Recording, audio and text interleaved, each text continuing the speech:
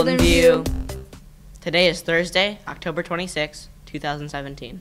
Today for lunch is for only for those of you who pre-ordered a sack lunch with your third period teacher. If you pre-ordered a sack lunch, please be sure to pick it up in the lower comments before you head home today.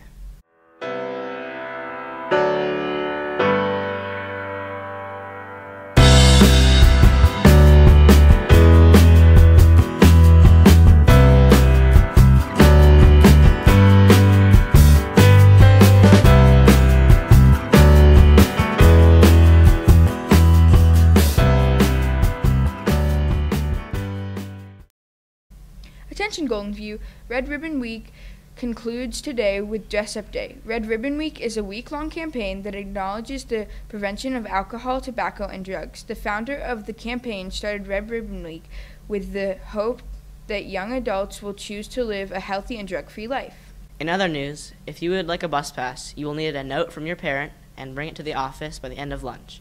Bus passes will not be issued after lunchtime is over. Thank you for your cooperation.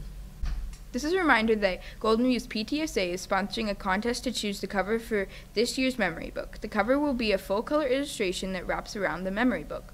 The contest is open to all Golden View students. All entries are due to the art teacher, Mrs. Ellenwood, by November 13th. There will be no late submissions allowed. Okay, Golden View, now it's time for Trendy Thursday, which is our way of helping you stay up to date on the latest trends and pop culture.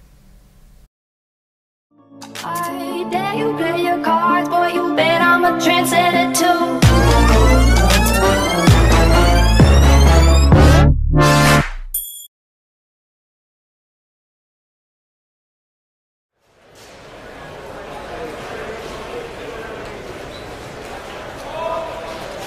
con los terroristas.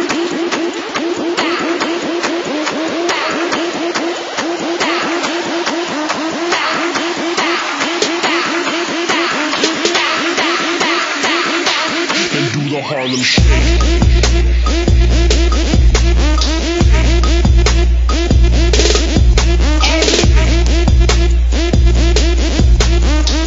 Con los terroristas.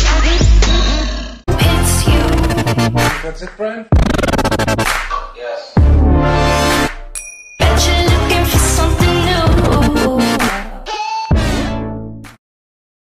Are you attending conferences today? Conferences run from 12:15 to 3 and from 4 to 7.